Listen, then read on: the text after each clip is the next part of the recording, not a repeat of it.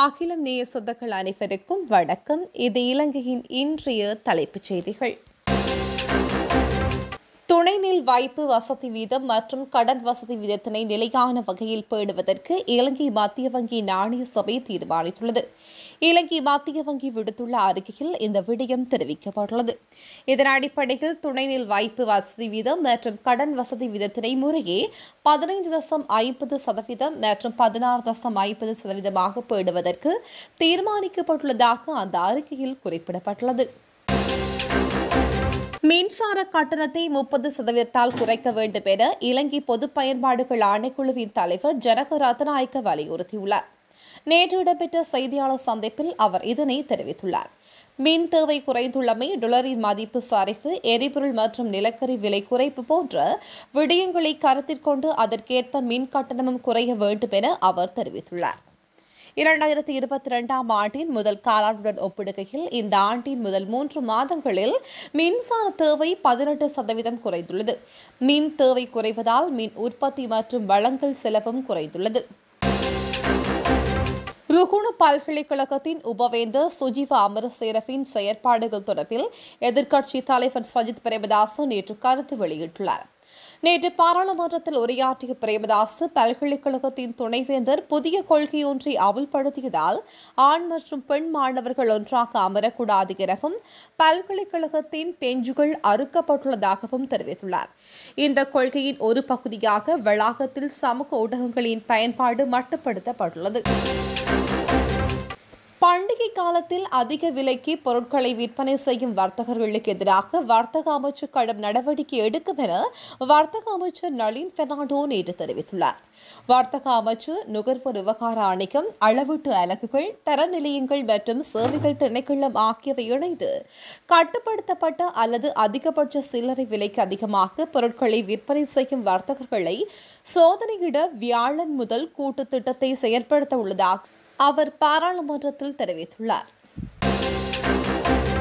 நேற்று நள்ளிரவு முதல் அமலாகும் வகையில் வாகனங்களுக்கான எரிபொருள் கோட்டா அதிகரிக்கப்படுவதாக எரிசக்தி மற்றும் மின்சக்தி அமைச்சர் கஞ்சன விஜயசேகர் தெரிவித்துள்ளார். தமிழ் சித்திரை புதுவருட பிறப்பை முன்னிட்டு இந்த தீர்மானம் எடுக்கப்பட்டுள்ளதாக அமைச்சர் தனது டுவிட்டரில் பதிவிட்டுள்ளார். விசேட சேவைகள் ஈடுபடும் முச்சக்கர வண்டிகளுக்கான எரிபொருள் ஒதுக்கீடு பதினைந்து லிட்டர் வரை அதிகரிக்கப்படுகிறது. சாதாரண சேவைகளில் ஈடுபடும் முச்சக்கர வண்டிகளுக்கான எரிபொருள் ஒதுக்கீடு ஐந்து லிட்டரிலிருந்து எட்டு லிட்டராக அதிகரிக்கப்பட்டுள்ளது. மோட்டார் சைக்கிள்களுக்கான எரிபொருள் ஒதுக்கீடு ஏழு லிட்டராகவும் கார்களுக்கான ஒதுக்கீடு முப்பது லிட்டர்களாகவும் அதிகரிக்கப்பட்டுள்ளது.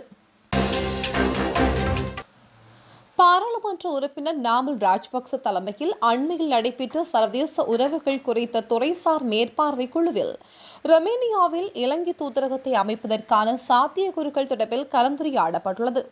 ரொமேனியாவில் தூதரகத்தை அமைப்பதில் காணப்படும் சவால்கள் தொடர்பில் இந்த குழு வெளிவிகார அமைச்சின் அதிகாரிகளிடம் வினவியது. ரொமேனியாவில் குறிப்பிடத்தக்க அளவு எண்ணிக்கையிலான இலங்கையர்கள் காணப்படுவதாகவும் அவர்களின் குறைகளை தீர்ப்பதற்கு இலங்கை தூதரகம் இல்லாததால் பல அசௌகரியங்கள் ஏற்பட்டுள்ளதாகவும் குழு சுட்டிக்காட்டியுள்ளது. கடந்த ஏழு வருடங்களில் அரசியல் மயமாக்கல் மற்றும் ஊழலின் விளைவாக அரசு நிறுவனங்கள் சுமையாக மாறியுள்ள யதார்த்தத்தின் அடிப்படையில் தனியார் மயமாக்கல் திட்டத்திற்கு நிபந்தனைகளுடன் கூடிய ஆதரவை வழங்க தீர்மானித்துள்ளதாக பிவிந்துரு ஹெல உரிமைய தலைவர் உதய கம்பன் பில தெரிவித்துள்ளார். அரசு நிறுவனங்கள் ஒரு சுமையாக மாறுவது ஒரு உண்மையாகும். இதன் அடிப்படையில் நாங்கள் தனியார் மயமாக்கலுக்கு நிபந்தனை ஆதரவை வழங்குகின்றோம். ஜனாதிபதி ஆர். பிரேமதாஸ் ஜனாதிபதி சந்திரிகா குமாரதுக பிரதமர் ரணில் விக்ரமசிங்கவின் காலப்பகுதியில் இரண்டாயிரத்தி ஒன்று முதல் இரண்டாயிரத்தி நான்கு வரை இருந்தது போன்று தனியார் மய மோசடியாக இருக்கக்கூடாது என்றும் தெரிவித்துள்ளார். கொழும்பிற்கு மேற்கே ஆழ்கடல் பகுதியில் பாரிய விரிசல்கள் காணப்படுவதாகவும் இதற்கு மேல் மாகாணத்தை பாதிக்கும் நிலநடுக்கங்களும் இடைத்தொடர்புள்ளதாகவும் இது தொடர்பான முறையான ஆய்வுகள் நடத்தப்பட வேண்டும் எனவும் பேராதனை பல்கலைக்கழகத்தின் புவியியல் துறையில் முன்னாள் சிரேஷ்ட பேராசிரியர் அதுல சேனரத்ன தெரிவித்துள்ளார். பேரவளை பிரதேசத்தில் அண்மையில் ஏற்பட்ட நிலநடுக்கம் குறித்து முறையான ஆய்வுகளை மேற்கொண்டு நில அதிர்வுகளுக்கான பிரதான காரணம் என்னவென்பதை கண்டறிய வேண்டியது அவசியம் என்றும் அவர் கூறியுள்ளார். உள்ளாட்சி சபை தேர்தலில் போட்டியிடும் அரசு ஊழியர்களுக்கு அடிப்படை சம்பளத்தை வழங்குவதற்கு அமைச்சரவை அங்கீகாரம் வழங்கியுள்ளதாக ராஜாங்க அமைச்சர் ஜானக வக்கும்புர தெரிவித்துள்ளார். அவர்களுக்கு மார்ச் ஒன்பது மற்றும் ஏப்ரல் இருபத்தி ஐந்தாம் திகதிகளுக்கான அடிப்படை சம்பளம் வழங்கப்படும் எனவும் ஏப்ரல் பத்தாம் திகதிக்கு முன்னர் சம்பள வரவு வைக்கப்படும் எனவும் அவர் பாராளுமன்றத்தில் தெரிவித்துள்ளார்.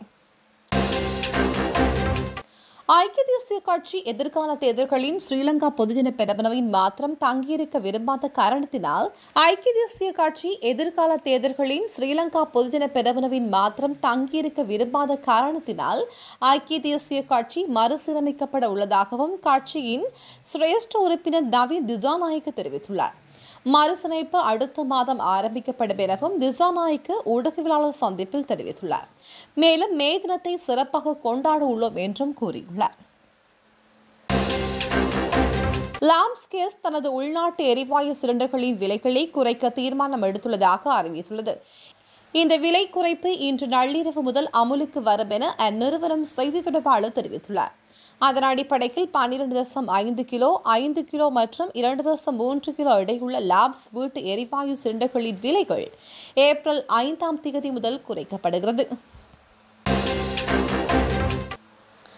நேற்று நள்ளிரவு முதல் அமுலாகும் வகையில் லிட்ரோ சமையல் எரிவாயு விலையை குறைப்பதற்கு தீர்மானித்துள்ளதாக லிட்ரோ எரிவாயு நிறுவனம் தெரிவித்துள்ளது.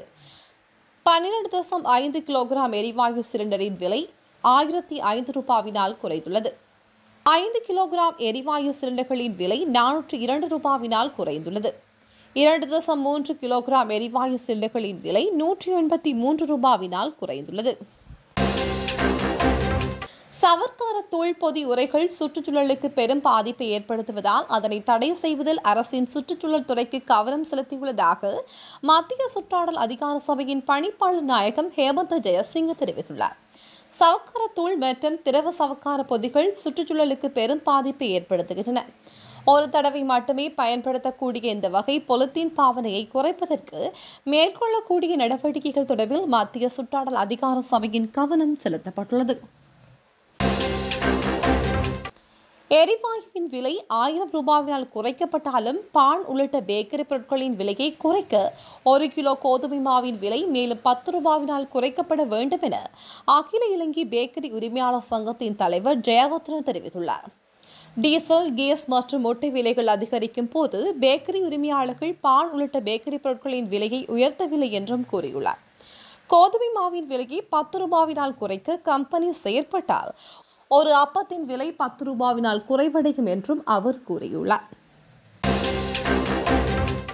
பண்டிகை காலங்களில் சந்தையில் பொருட்களை கொள்வனவு செய்யும் பொழுது மிகவும் அவதானத்துடன் செயற்படுமாறு போலீஸ் பொதுமக்களை அறிவுறுத்தியுள்ளது.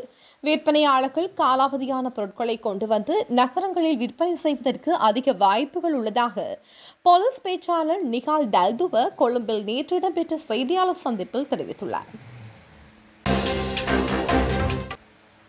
பேட்மேன் நடிகர் கிறிஸ்டியன் பெல் கொழும்புக்கும் மாலத்தீவுக்கும் இடையில் இயங்கும் ஸ்ரீலங்கன் ஏர்லைன்ஸ் விமானத்தில் விமான பணிக்குழாமுடன் எடுத்துக்கொண்ட புகைப்படம் சமூக வலைதளங்களில் வைரலாகியுள்ளது.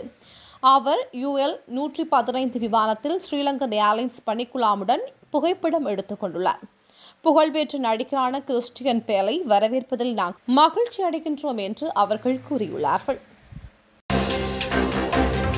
யாயில போலீஸ் நிலையத்தில் கராஜில் நிறுத்தி வைக்கப்பட்டிருந்த போலீஸ் ஜீப் மீது ஆபாச வார்த்தைகளை எழுதியதாக கூறப்படும்.